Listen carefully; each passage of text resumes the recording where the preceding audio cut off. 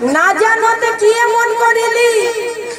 হো ঠাকুর দিদি গো, হো বাবা দিদি গো, ওর শিখরের ভাসুর বলে নাই জানেছে। গানের মাধ্যমে কি বলছে আপনারা শুনুন। হো গো